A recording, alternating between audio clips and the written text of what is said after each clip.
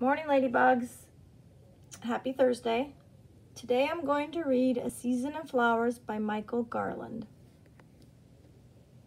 Snowdrop and crocus, we are the earliest flowers of spring. Robins devour the bugs that we bring. Tulip and hyacinthus, a feast for rabbits. Row upon row, vibrant and bright, we're next in the show.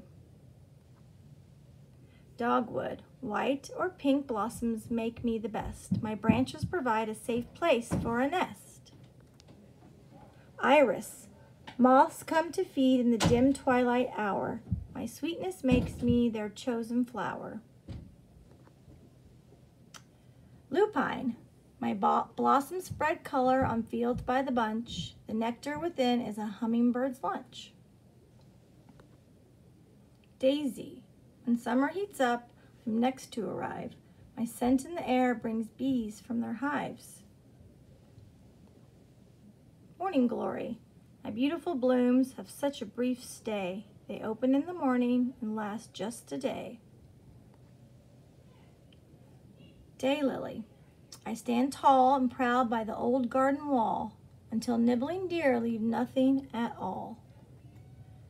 Native geranium. A chipmunk finds food and does some good deeds. I can grow wild when he spreads my seeds. Peony. I'm high on the list of beautiful plant plants. If you take me indoors, check first for ants.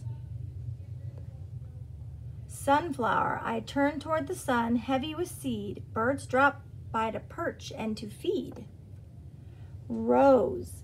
Beetles love roses. Everyone warns. Nothing will stop them, not even my thorns. Chrysanthemums. The days have grown shorter. Autumn is here. Hold on to summer by keeping me near. Now we slumber and wait for rebirth. We are nature's great gift to the earth. The end.